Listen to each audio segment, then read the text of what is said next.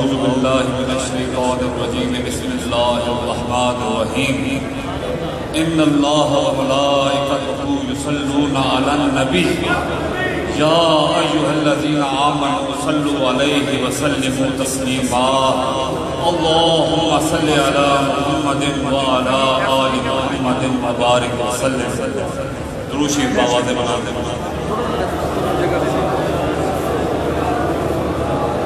ایک منٹ یار، ایک منٹ۔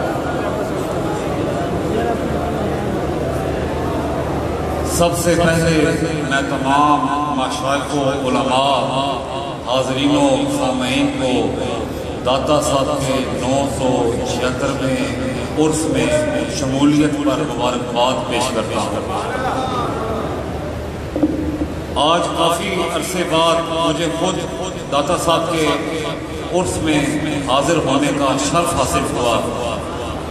ابھی چشتی صاحب خطاب فرما رہے تھے، بول رہے تھے، تو مجھے خیال یہ آ رہا تھا کہ دیکھیں کہ اس سے بڑھ کر، اس سے بڑھ کر ان اللہ والوں کی اور کیا کرامت ہو سکتی ہے کہ صدیاں بیت گئی، لیکن خلق خدا پر ان کا راج آج بھی قائم ہے۔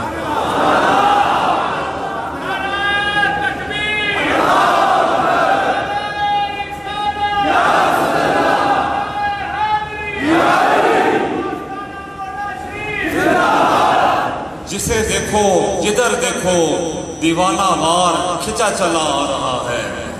آج بھی داتا صاحب کے اس مزار اقدس سے جلووں کی رانائیاں اور کرنیں اٹھ اٹھ کر یہ شعر پڑھ رہی ہیں، یہ اعلان کر رہی ہیں کہ ہر گرد نمیر ادا کے دلش دل دا شد با عشق۔ ہر گرد نمیر ادا کے دلش دل دا شد با عشق سب دست پر جرید عالم دوا میں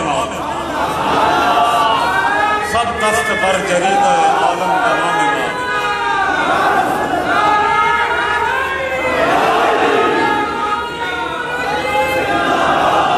یہ جریدہ عالم پہ یہ جو نقش ثبت ہوا ہے، جسے دوام دیا اللہ نے، اس کی وجہ جو عشق ہے، وہ عشق الہیہ ہے۔ وہ اسی ذات سے عشق ہے جو اتباع رسول صلی اللہ علیہ وآلہ وسلم کی بدولت حاصل ہوتا ہے۔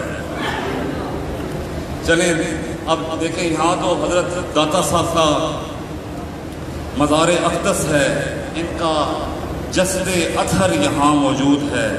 اللہ نے اسے عزتیں عطا فرمائی اس مقام کو۔ ساتھ ساتھ اس مقام کو بھی معتبر بنایا، اسے بھی عزت عطا فرمائی، جہاں خواجہ اجمیر سلطان الہند کے قدم لگے۔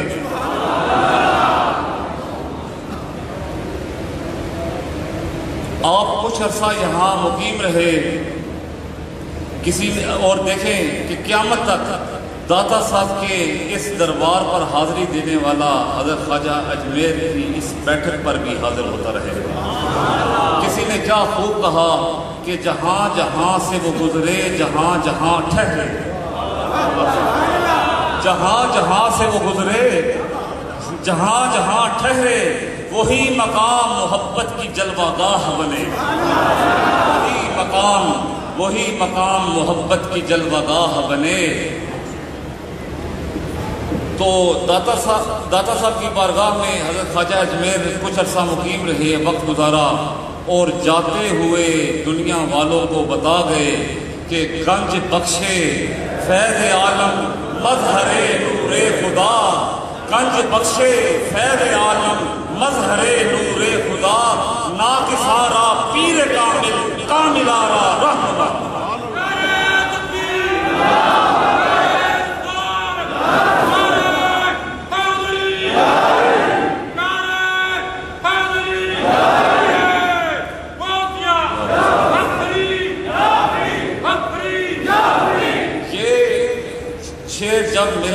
گرامی پڑھتے ہیں تو اکثر اس کے ساتھ ایک اور بات بھی کرتے ہیں آپ فرماتے ہیں کہ حضرت خواجہ اجمیر نے اس خطے کے لوگوں کو کلمہ پڑھایا۔ اس خطے کے لوگوں کو کلمہ پڑھایا۔ اس کے ساتھ دو خصوصی احسان بھی فرمائے۔ اس کے ساتھ دو خصوصی احسان بھی فرمائے۔ ایک احسان جو ہے وہ یہ ہے کہ وہ لوگوں کو داتا صاحب کا عرفان عطا کیا۔ داتا صاحب کا عرفان عطا کیا کہ آپ کی زبان مبارک سے نکلے ہوئے الفاظ کہ آپ کی حضرت خواجہ اجمیر کی زبان پاک سے نکلے ہوئے الفاظ پوری دنیا میں گونجتے ہیں۔ کوئی پڑھا لکھا ہو، ان پڑھ ہو، چھوٹا ہو کہ بڑا ہو، سب کی زبان پر یہی شعر ہے۔ گنج بخشے فیض عالم مظہر نور خدا نا کسارا پیر کامل کاملانہ رہنما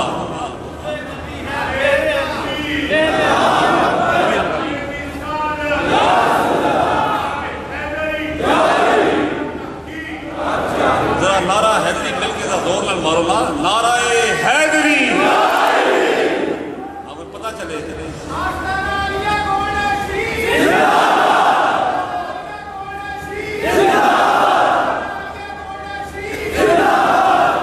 اور دوسرا احسان جو میرے والد گرامی فرماتے ہیں کہ جو احسان عظیم ہے کہ حضرت خواجہ اجمیر نے حضرت سیدنا امام حسین علیہ السلام کی ذات کا وہ تعارف کرایا۔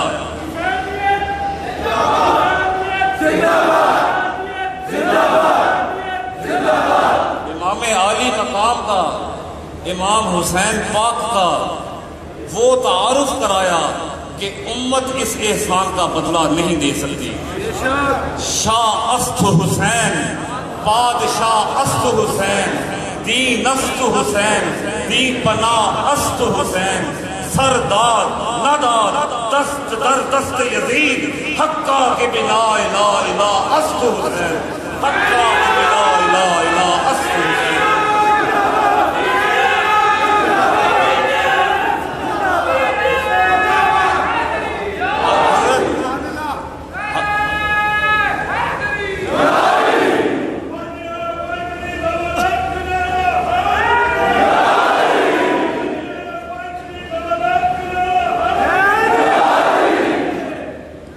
حضرت خواجہ اجمیر نے کرم فرمایا۔ حضرت خواجہ اجمیر نے کرم فرمایا، لوگوں کا ایمان بچایا۔ مفتی صاحب، بد عقیدگی کے طوفان آتے رہیں گے۔ پہلے بھی آتے رہے ہیں، اب بھی آ رہے ہیں۔ لیکن غوث جلی و ہند الولی کے نام لیوا، ان کے نام لینے والے داتا کا لنگر کھانے والے اور مہر علی کے گل گانے والے، کبھی بھی یزید، پلید کی طرفداری قبول نہیں کریں گے۔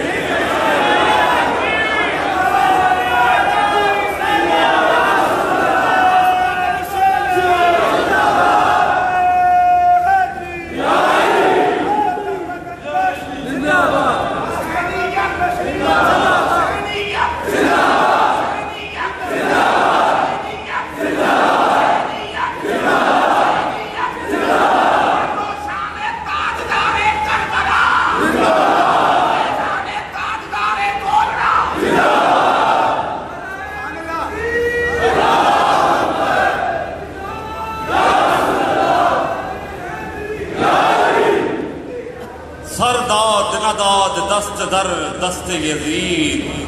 حقا کہ بنا الہ الہ است حسین. تو ہم نے ان ہستیوں سے سبق لینا ہے.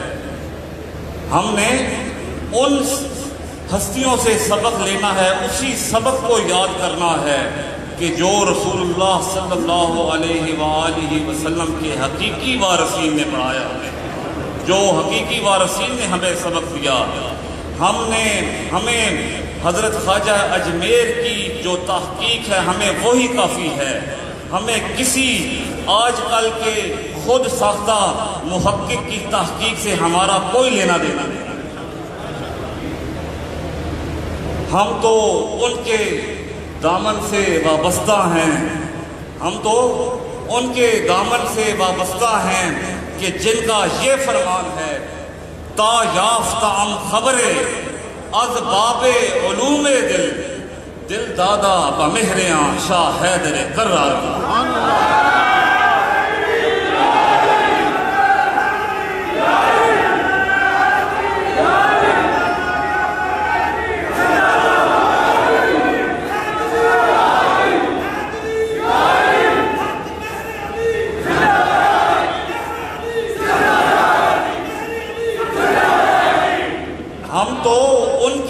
دامن سے وابستہ ہیں کہ جن کا یہ فرمان ہے، تا یافتہ ام خبرے، از باب علوم دل دل دادا با مہریاں شاہ حیدر کرارم۔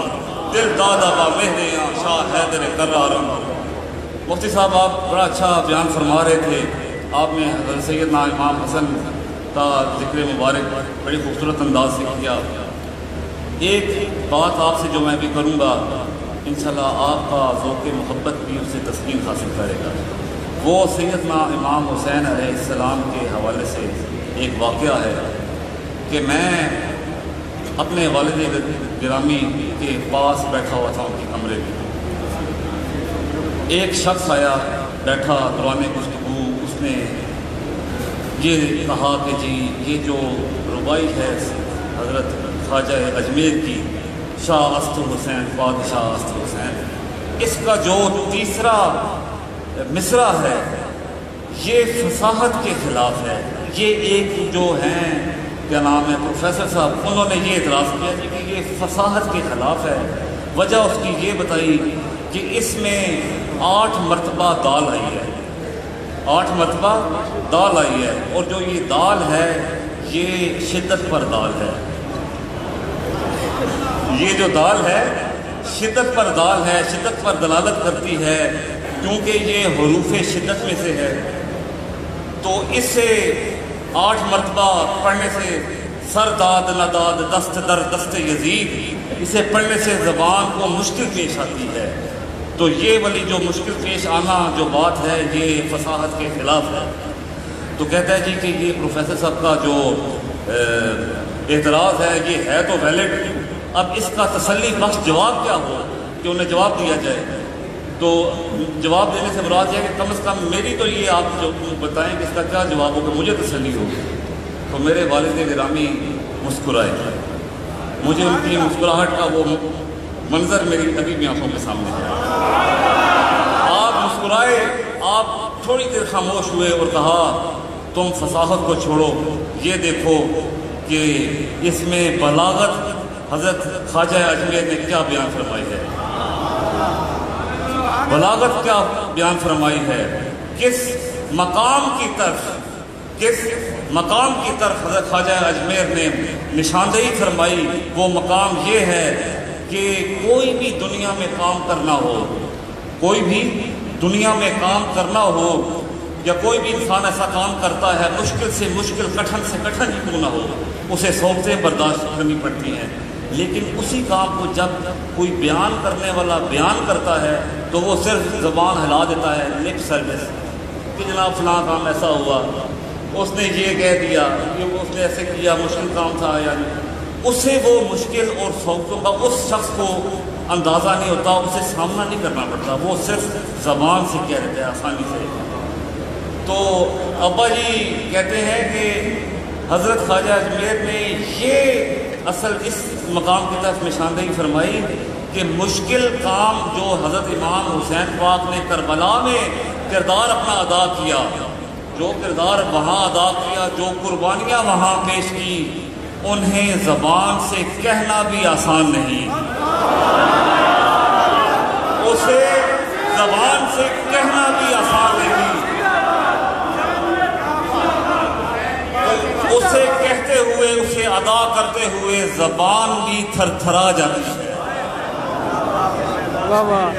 اسے ادا کرتے ہوئے زبان بھی تھر تھرا جاتی ہے۔ سر داد نداد دست در در در دست یزید دیکھیں اب میری بھی تھر تھرا گئی سر داد نداد دست در دست یزید۔ حقا کے بنا الہ الہ است حسین۔ حضرت، یہ جو کام حضرت امام حسین نے وہاں پہ کردار ادا پیش کیا، اسے ادا کرنا تو دور کی بات، اسے بیان کرنا بھی مشکل ہے، آسان نہیں ہے۔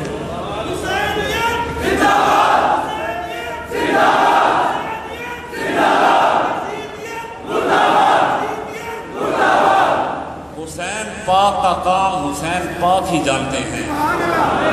یہ فقط امر ہوا۔ فاطمہ کے جانی سے۔ یہ فقط امر ہوا فاطمہ کے جانی سے۔ مشکلیں جتنی پڑی کاٹی سب آسانی سے۔ مشکلیں جتنی پڑی کاٹی سب آسانی سے۔ اور یوں راہ وفا میں ابن حیدر اٹھے۔ یوں راہ وفا میں ابن حیدر اٹھے، مقتل میں قیامت سی اٹھا کر اٹھے۔ مقتل میں قیامت سی اٹھا کر اٹھے۔ کہتے ہیں، کمال سرفروشی اس کو۔ کہتے ہیں، کمال سرفروشی اس کو۔ ارے سجدے میں گئے امام تو بے سر اٹھے۔ سجدے میں گئے امام تو بے سر اٹھے۔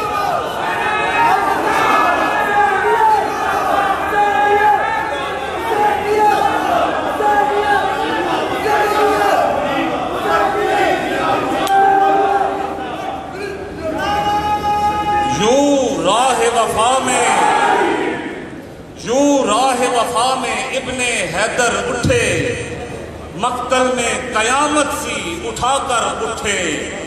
کہتے ہیں، کمال سرفروشی اس کو، ارے سجدے میں گئے امام تو بے سر اٹھے۔ سجدے میں گئے امام تو بے سر اٹھے۔ داتا کی چوکھٹ سلامت رہے۔ تا قیامت رہے۔ لوگ آتے رہے۔ جاتے رہے، یوں ہی فیض پاتے رہے۔ اللہ تعالی ہم سب کی حاضری پنجتن پاک کے حوالے ان کے صدقے سے، ان کے وسیلے سے قبول فرمائے۔ ہماری جو حاجات ہیں، ہماری جو پریشانیاں ہیں، ہماری جو دعائیں ہیں، وہ اللہ تعالیٰ اس وسیلے سے پنجتن پاک کے وسیلے سے قبول فرمائے۔ کیونکہ ہاں سنیں کیونکہ یہ وہ وسیلہ ہے، یہ وہ وسیلہ ہے کہ جس وسیلے کی وجہ سے حضرت آدم علیہ السلام کی توبہ قبول ہوئی۔ اور اولاد آدم کے لیے بھی اس سے بڑھ کر کوئی وسیلہ نہیں۔ یا رب بمحمد و علی و زہرا۔ یا رب بمحمد و علی و زہرا، یا رب بحسین و حسن و آل ابا۔ کس لطف برار حاج تم درد فرا۔ بے منت خلق یا علی العالی بے منت خلق یا علی العالی بے منت خلق یا علی العالی خدایا بحق بنی فاطمہ۔